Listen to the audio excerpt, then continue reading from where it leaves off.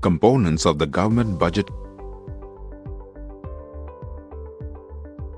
What is a budget? Meaning and concept. Government has several policies to implement in the overall task of performing its functions to meet the objectives of social and economic growth. For implementing these policies, it needs to spend huge amount of funds on defense, administration and development, welfare projects and various other relief operations. Thus, it is imperative to find out all possible sources of getting funds so that sufficient revenue can be generated to meet the mounting expenditure. Planning process of assessing Revenue and expenditure is termed as budget. The term budget is derived from the French word budget, which means a leather bag or a wallet. It is a statement of the financial plan of the government. It shows the income and expenditure of the government during a financial year, which runs generally from the 1st of April to the 31st of March. There is a constitutional requirement in India to present before the Parliament a statement of estimated receipts and expenditures of the government in respect of every financial year, which runs from the 1st of April to the 31st of March. This annual financial statement constitutes the main budget document. Further, the budget must distinguish expenditure on the revenue account from other expenditures.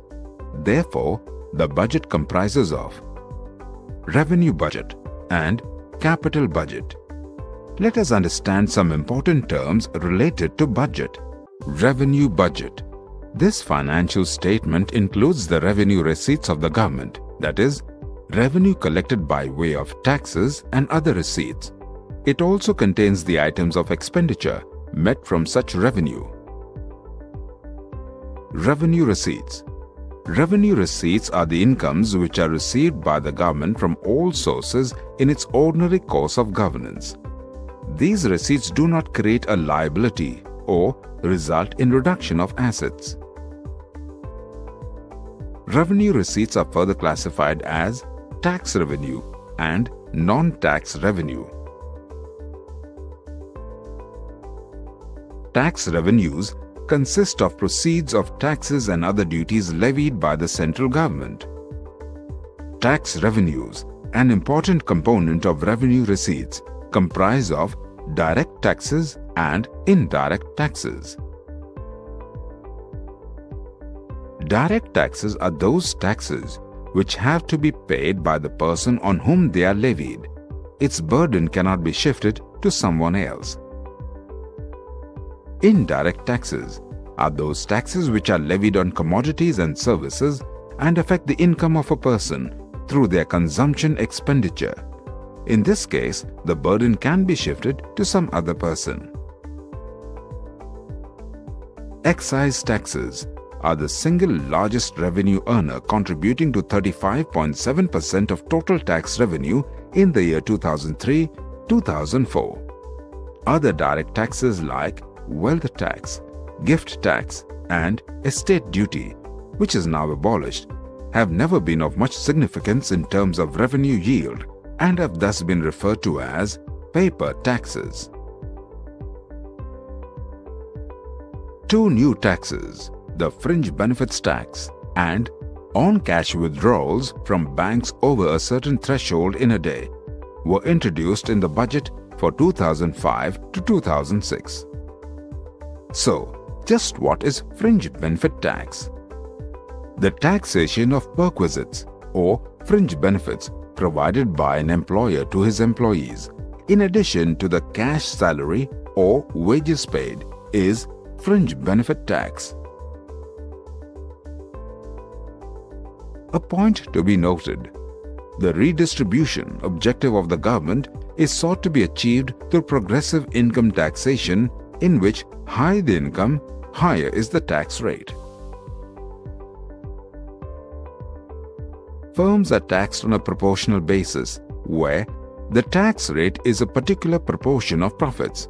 With respect to excise taxes, necessities of life are exempted or taxed at low rates. comforts and semi-luxuries are moderately taxed and luxuries, tobacco and petroleum products are taxed heavily. Non-tax revenue Apart from taxes, governments also receive revenue from other non-tax sources. Non-tax revenue of the central government mainly consists of interest receipts on account of loans by the central government which constitutes the single largest item of non-tax revenue, dividends and profits on investments made by the government, fees and other receipts for services rendered by the government. Cash grants and aid from foreign countries and international organizations are also included. The estimates of revenue receipts take into account the effects of tax proposals made in the Finance Bill.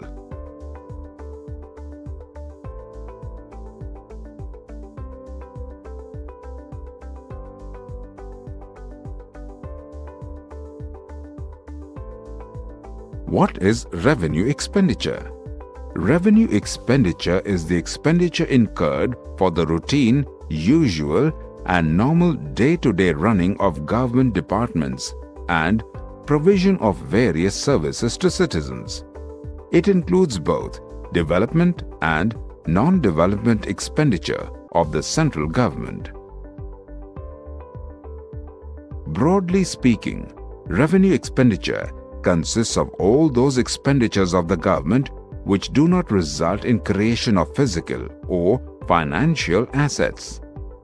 It relates to those expenses incurred for the normal functioning of the government departments and various services, interest payments on debt incurred by the government, and grants given to state governments and other parties even though some of the grants may be meant for creation of assets.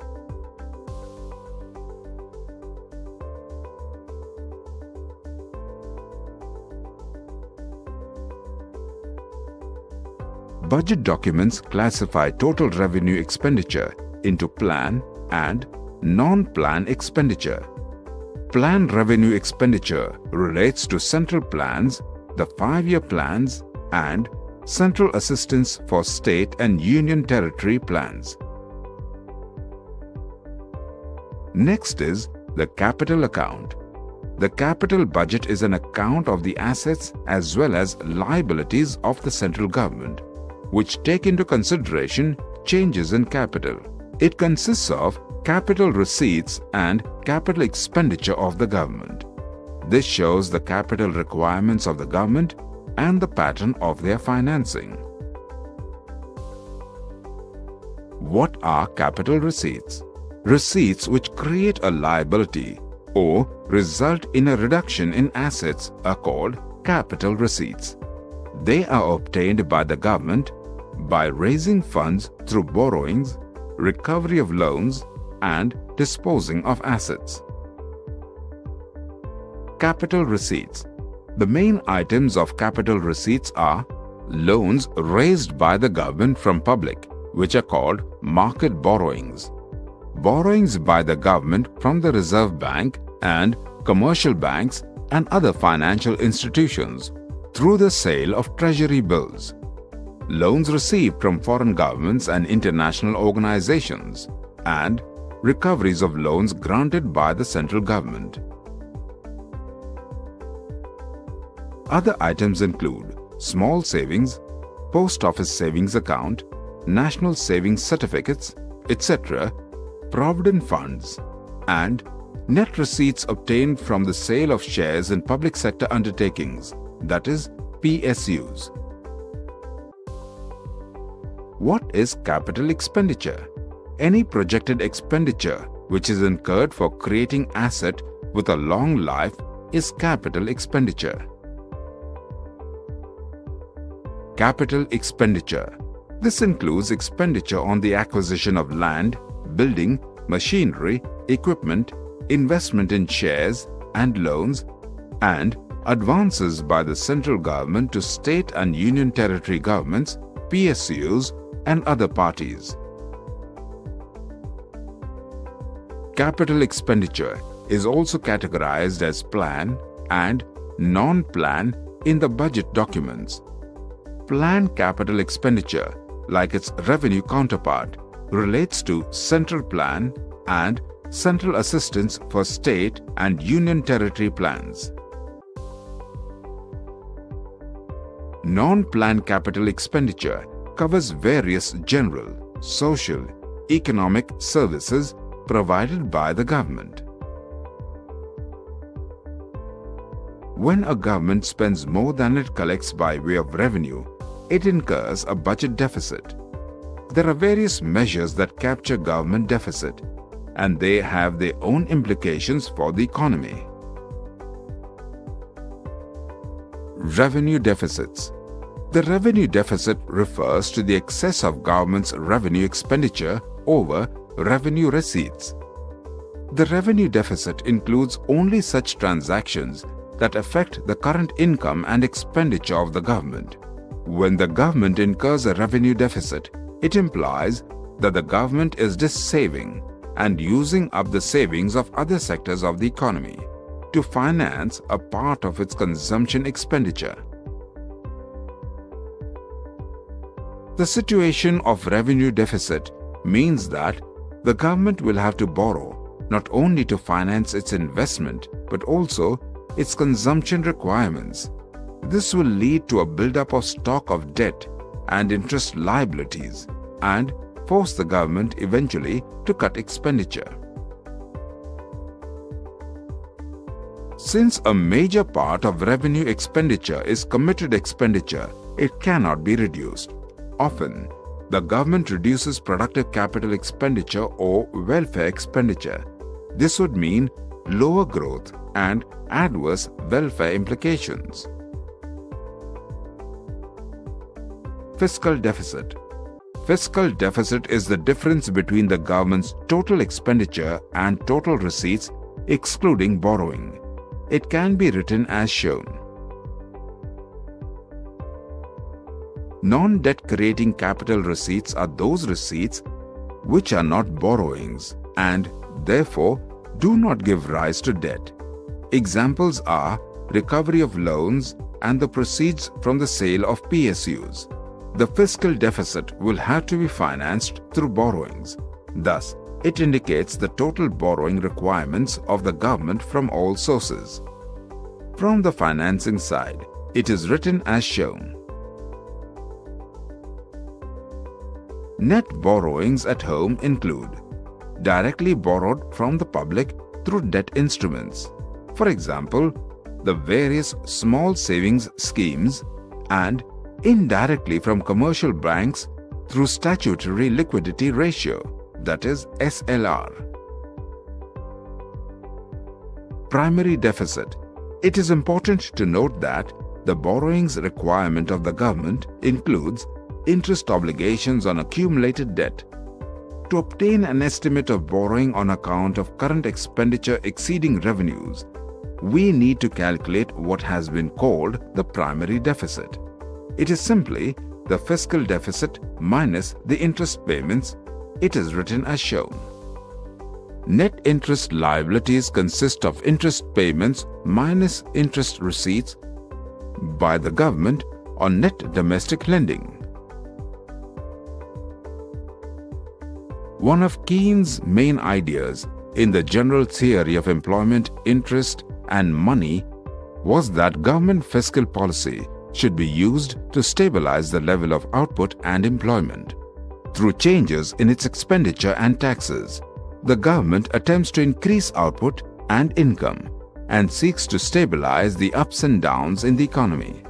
In the process, fiscal policy creates a surplus, that is, when total receipts exceed expenditure or a deficit budget when the total expenditure exceeds receipts rather than a balanced budget when expenditure equals receipts.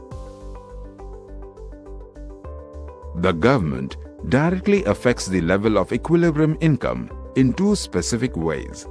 Government purchase of goods and services G. Increase aggregate demand and taxes and transfer effect of the relation between income Y and disposable income YD. the income available for consumption and saving with the households. Let's talk about taxes first.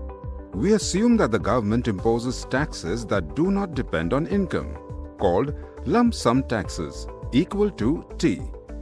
We assume throughout the analysis that government makes a constant amount of transfers, TR bar. Important point to note is that taxes lower disposable income and consumption. For instance, if one earns 1 lakh rupees and has to pay 10,000 rupees in taxes, she has the same disposable income as someone who earns 90,000 rupees but pays no taxes.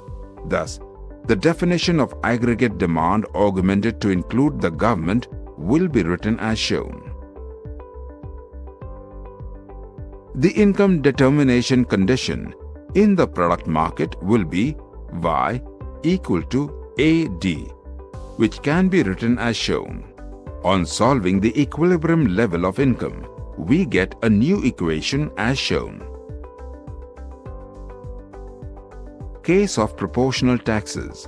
A more realistic assumption would be that the government collects a constant fraction, T, of income in the form of taxes, so that capital T is equal to small t y. The consumption function with proportional taxes is given as shown. Fiscal policy instruments can be varied to offset the effects of undesirable shifts in investment demand, that is, as shown. And equilibrium income remains the same. This deliberate action to stabilize the economy is often referred to as discretionary fiscal policy to distinguish it from the inherent automatic stabilizing properties of the fiscal system. Thus, to summarize in a nutshell,